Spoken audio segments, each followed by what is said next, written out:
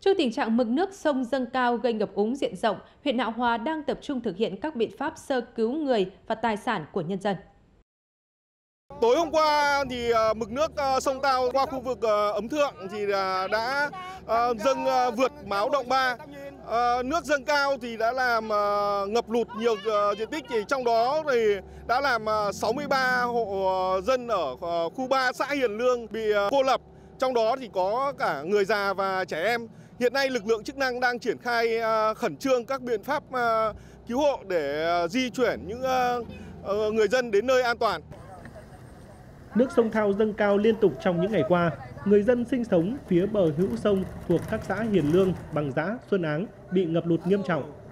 Trong đó có trên 200 hộ dân với gần 1.000 nhân khẩu phải sơ tán khẩn cấp đến nơi an toàn.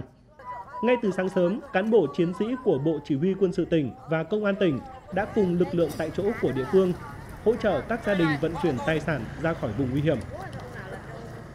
Được sự hỗ trợ của đồng chí công an, quân đội lực lượng vũ trang thì là đưa nhân dân và hỗ trợ các gia đình chạy và kê kích đưa xe máy thì, thì ờ, tài sản của một số hộ dân ra điểm cao. Ờ, cảm ơn lực lượng vũ trang và công an quân đội đã giúp đỡ nhân dân. Ban chỉ huy sự huyện đã triển khai cho các lực lượng ờ, thường trực, lực lượng dân quân tăng cường của xã Xuân Áng để đảm bảo di rời người dân được ờ, kịp thời, an toàn Đến 12 giờ trưa ngày hôm nay thì là ờ, cơ bản chúng tôi đã di rời người dân cũng như tài sản đến nơi an toàn. Do các thủy điện xả lũ và dự báo mưa lớn kéo dài, mực nước sông Thao và sông Đà, sông Lô chảy qua địa bàn tỉnh Phú Thọ tiếp tục dâng cao, nguy cơ xảy ra lũ quét, ngập lụt. Theo cái dự báo thì mực nước ờ, sông Thao còn tiếp tục ờ, lên thế và dự báo ở Lào Cai cũng như là Yên Bái cũng đã tiếp tục lên.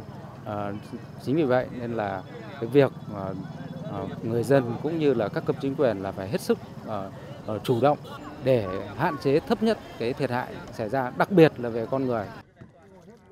Cùng với sự vào cuộc của chính quyền địa phương và các lực lượng chức năng, mỗi người dân cần nêu cao tinh thần cảnh giác, tiếp tục phải thực hiện nghiêm các biện pháp phòng chống thiên tai để đảm bảo an toàn tính mạng và tài sản.